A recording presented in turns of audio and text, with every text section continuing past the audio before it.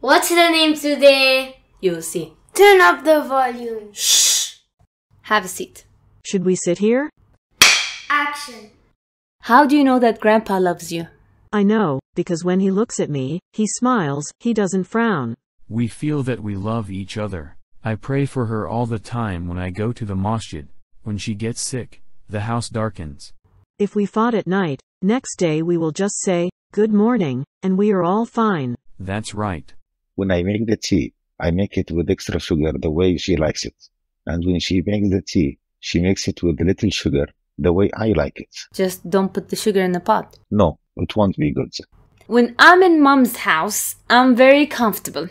And she loves me the way I am, me and my kids.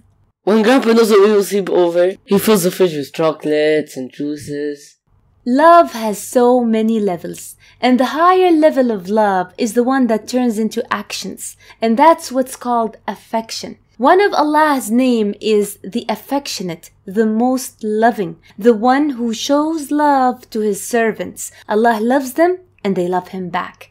And Allah shows us love in different ways. First of all, the blessings. Allah didn't only give us the necessities of life, Allah gave us luxuries to make our lives more pleasant. For example, food. Allah didn't only give us wheat and barley and date. No, He gave us berries. Give it a thought. Is berry necessary? Are we going to die if we don't have berries? No. But because Allah is affectionate, He gave us berries and mangoes, strawberries, oranges, variety of oranges. Allah gave us nuts and spices to make our food delicious. The same thing with clothes. Not all clothes are made of cotton and wool. The most loving give us silk and feather. Allah give us fragrances, jasmine, rose, saffron, and basil. Look around. How many colors do you see? A lot of creatures see black and white, but Allah made us see the colors. Green, blue, yellow, and magenta. How beautiful. Look at the creatures. Plants, fish, birds, not everything for us to eat. Some creatures are for our amusement, to enjoy watching them, relax on their sounds. That's how Allah shows us His love. So we don't just survive, no, so we enjoy our life. The affectionate also shows us affection by treating us well. Sometimes we need someone to talk to, listen to us, and pat on our shoulders. People around us are not always available, but the affectionate tells us, and when my slaves ask you concerning me, then I'm indeed near, anytime, anywhere and take your time as much as you want. Allah doesn't end the meeting. You end the meeting with Allah. What's better than talking to someone who loves you, cares about you, listens to you without interruption, makes you say everything inside you, doesn't get you wrong, knows exactly how you feel, doesn't shame you, doesn't expose you. Your secrets are kept safe and most important thing is that he can help you solve your problem and make you feel better. This private conversation with Allah. He talks to us through Quran. We talk to Him through supplication. This is one of the best moments in life. It gives us comfort, tranquility, and satisfaction, and you will feel the love of Allah filling your heart. Try it. Please try it.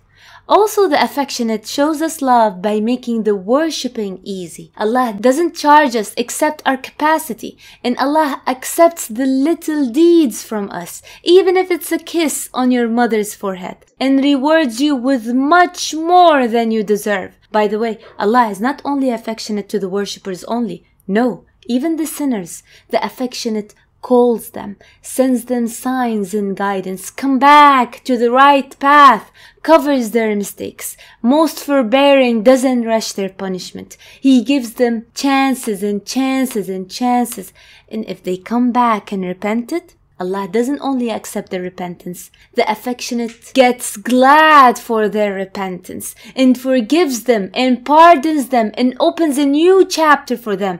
Allah loves those who turn to Him in repentance.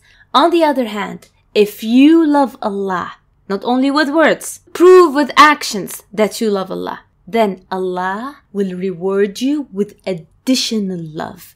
Allah will respond to your dua and will help you succeed in all your work. And you know what else? You won't believe it. What, what?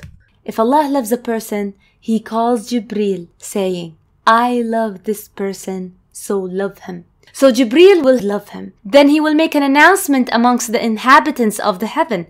Allah loves this person, therefore you should love him also. And so all the inhabitants of heaven will love him. And then this person is granted the acceptance of the people on earth. People will love you as soon as they see you. Actually, Allah the Affectionate is the one who created love and affection between everyone on earth. If it's not for Allah, no one would love us. O Allah, we ask you for your love and the love of whomever you love and the love of the deeds that bring us nearer to your love. Bissan, take your kids and go to your house. I was just saying that you love us the way we are. Go to your house so I keep loving you.